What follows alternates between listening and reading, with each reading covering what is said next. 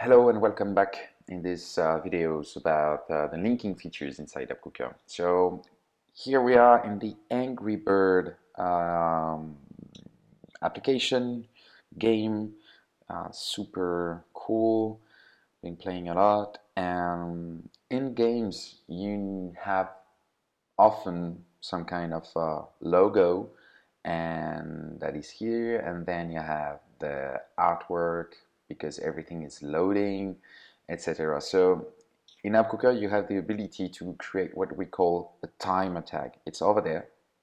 And you can find it here just like the swiping between screens that we've just seen in the previous video in Facebook can only use one per screen. And basically what's going to do is like um, you will have to choose of course a target screen an animation a transition a type of transition.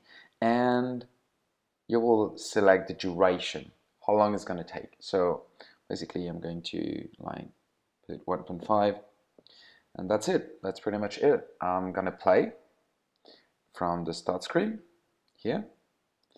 I don't touch anything and boom it's loading. And this one also have has uh, a timer tag and now I am on the menu.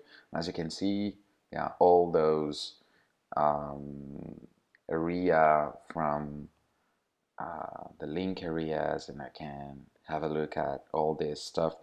So I've done that with a lot of screenshots. I imported them inside AppCooker and I put the links on top of them. So it's really handy when you have those you know when you have your design made by great designers and then you put some link area on top of it and then you you can make demo like super easy with lots of you know and so far how does that say that? Uh, customization and feeling. And that's pretty much it. That's how you create a timer tag um, timer time timing on your application. Thanks for watching